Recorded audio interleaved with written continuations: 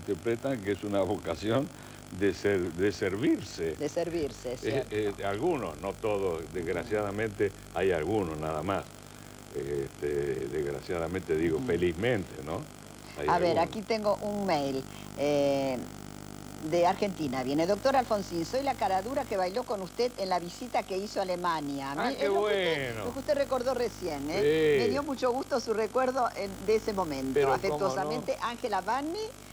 Ángela Vanni se llama, con B corta y doble N. ¿eh? Mire, se lo voy a dar el mail porque es muy lindo. Sí, mire, no. Pero mire la casualidad. o sea que usted no mintió. Le, agradezco mucho a, la señora el recuerdo. Mm. Este, Además, una gran bailarina, yo la pisé dos o tres veces. y no, y no este, Porque era un lugar medio con adoquinado, no me acuerdo, había problemas para bailar. ¿Usted llegó eh, pobre al gobierno y se fue pobre? Sí, sí, sí, sí. sí. Yo llegué pobre y me fui pobre. Gracias a Dios, nunca he deseado dinero. Nunca he peleado por el dinero, aunque simplemente estar tranquilo y a veces no lo estaba, ¿eh? Sí, pero nunca ha tenido ambiciones de dinero. No, no, no, no, no, Y creo que en general el político no debe dedicarse a los negocios. debe, debe, ¿Y qué opina del, del gobierno del doctor de la Rúa? Bueno. yo, cuando estábamos viendo esta recordatoria, a usted le molestó que dijeron que había huido, ¿no? Este, no, no huyó. No huyó. Este, el doctor de la Rúa hizo cosas positivas, desde luego que defendió los principios de la libertad, de las instituciones. En educación hizo un gasto especial. Este, pero eh, había un problema muy serio en los mercados y yo creo que no se atrevió por, por razones que tiene su justificación, que yo no hubiera hecho eso, eh, a cambiar la política de Menem como debiera haber cambiado y eso nos ha hecho mucho daño. ¿Usted cree que fue una continuidad de la política de, No diría una continuidad, pero imagínese al designarlo... La incorporación del doctor Cavallo. A Cavallo, sí. ¿A usted le hizo mucho daño Cavallo mientras usted estuvo en el gobierno? Yo pienso que... Me refiero a las influencias con los grandes banqueros internacionales. Sí, sí. Él, conversaba con los, acreedores diciendo que tenían que cobrarnos la deuda porque si no iban a considerar que se estaban inmiscuyendo en la política interna. Ah. Además, después, este, yo creo que lo que querían era que yo saliera escupiendo sangre, ¿no? Para poder aplicar un plan neoliberal este, yo sé que usted es muy amiga de él, así que no quiero ofenderla. Bueno, sí, soy amiga, pero no, no, no, dejo de ver las cosas que este, ocurrieron en el país. Eh, ¿eh? Pero ya sé que siempre Trato piensa primero en el país y es objetiva. Trato de ser muy y lo objetiva. Es, y lo es. No sé si soy totalmente objetiva, pero trato de serlo porque realmente pienso que muchas de las cosas totalmente en la medida que uno puede serlo. Como si a mí me si soy, soy radical o no. Mujer, ¿no? Claro, de, de Sonia Caballo. Doctor Alfonsín, mi padre... Ah, le voy a preguntar algo antes que me olvide. Si usted hubiera, hubiera sido... ¿Por qué no quiso ser senador? Bueno, fui senador. Fue senador. Y mire, yo ya eh, quería hacer otras cosas. Ah.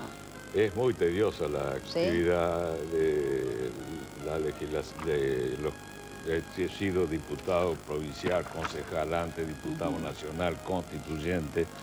Este, y senador. La época más fea la pasé de siendo diputado nacional, porque teníamos minoría y había que evitar cualquier... Tenía que recorrerme 12 bloques para que una moción de orden no me levantara la sesión, pudiéramos pasar al cuarto intermedio. Le iba a preguntar, tenemos que ir a una pausa, me disculpo. Em, si usted hubiera sido senador en la época de los sobornos, ¿hubiera continuado con la investigación? Sí, sin duda. Porque fue terrible eso. La, gente se olvida de eso, no hay que olvidarlo. No, ¿eh? no, no, nada, nada hay que olvidar. Todo tiene que actuar la justicia. Sí. Este, como lo hizo, ¿no? En este caso. Este, Pero de conocer algunos nombres, ¿usted los hubiera denunciado? Yo sí. Seguro, Sin duda ninguna. Sí, sí, sí. Sin duda ninguna. Tenemos que ir a una pausa. Doctor Alfonsín, mi padre estando en el geriátrico con 93 años, de las dos únicas personas de las que se acordaba éramos yo y el doctor Alfonsín. Él me dejó un encargo antes de morir. Tengo un libro para usted, Claudio Bonzo, hijo de Ituzaingó. Y le deja un teléfono, Sí, ¿eh? pero sí, como no. Le deja un teléfono. Y lo recuerdo yo. ¿Lo recuerda en serio? Sí, sí, sí, sí, Bueno, Pero tanta edad tenía.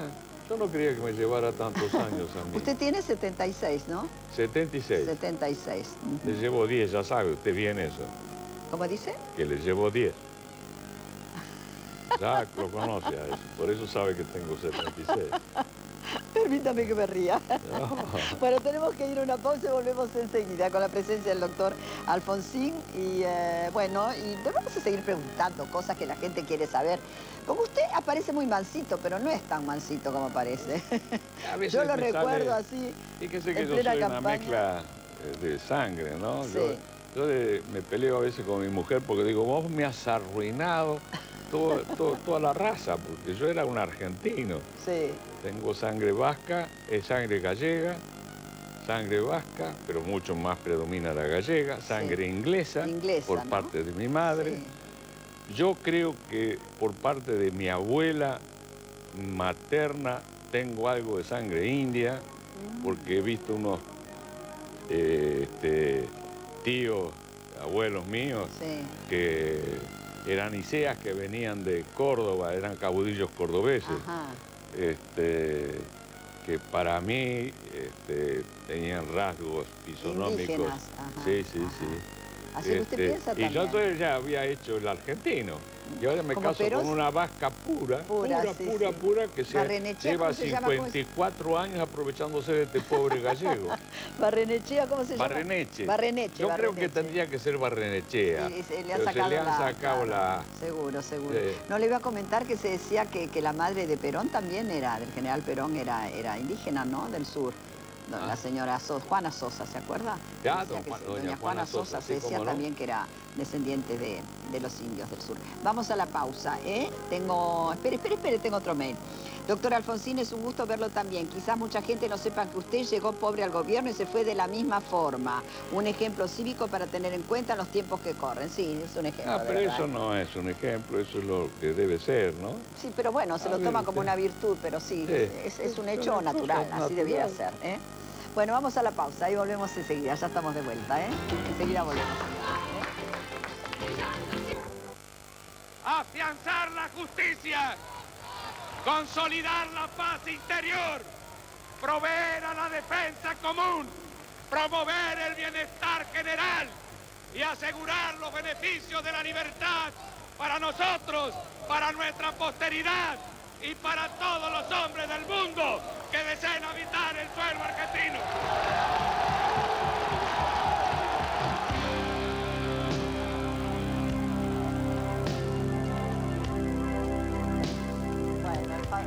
preámbulo de nuestra Constitución, sí, sí, sí, sí. Merece un aplauso porque ese preámbulo, ojalá lo cumpliéramos, ojalá lo hubiéramos cumplido a través de, tantas generaciones. Es un programa desde luego, es un programa.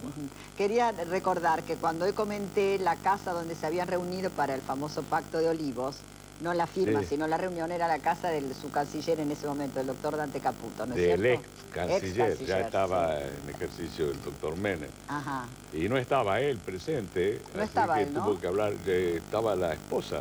Ah, ah, ah, ah es francesa, es encantadora. ¿no? Es francesa, sí. Es encantadora. una francesa, una señora francesa. Bueno, tengo un reloj para usted, doctor, lindísimo, ¿eh? que va a marcar sus horas felices. ¿Es un hombre feliz usted? Eh, yo no sé, que la felicidad es una cosa sumamente compleja, ¿no? Uno confundirá de pronto un estado de alegría. Es ansioso, es, este, tiene sus este, momentos lindos de alegría, tiene sus bajones.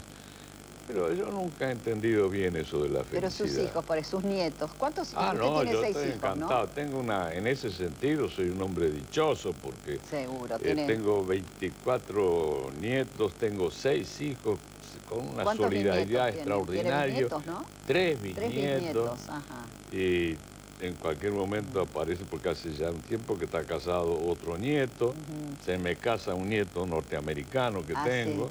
Ahora en abril. ¿Tiene hijos viviendo en Estados Unidos usted? Tengo una hija ah, que hace 30 años que vive allá. Ah, sí, sí, sí. Y, qué piensa de los jóvenes que se van de la Argentina? Y lamento, lo lamento mucho, pero estos chicos se fueron porque, en fin, tenían una posibilidad muy buena en, una, universidad de trabajo, de, hacer la residencia. ¿Y es buen padre? ¿Usted es buen abuelo, buen bisabuelo? Mire, yo no sé.